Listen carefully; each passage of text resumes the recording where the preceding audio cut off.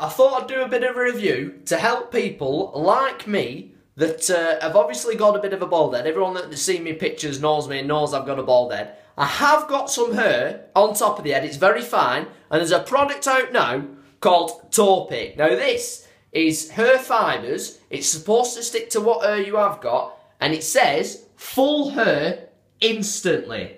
Now, 40 quid, 40 pounds this is for a bit of dust, right?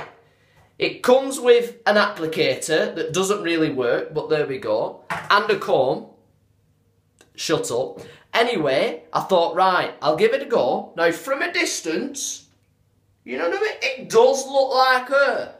But close up, it looks like fucking sawdust. Don't waste your money, people. I'll help you out.